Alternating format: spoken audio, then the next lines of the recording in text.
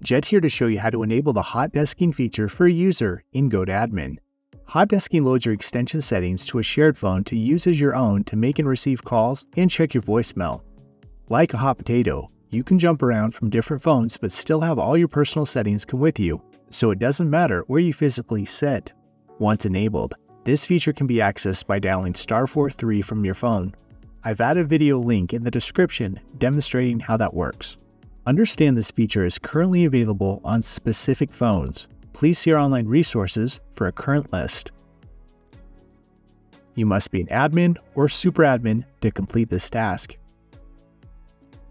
GoToAdmin can be accessed to this site.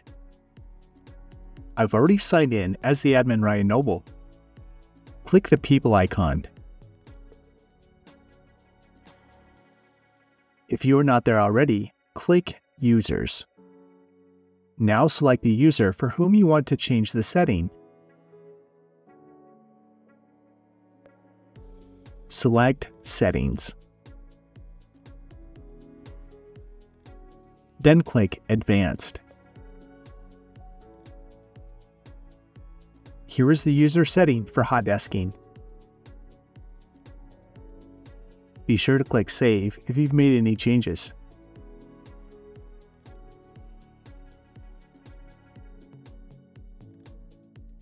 That's all there is to enable hot desking for a user in GoToAdmin.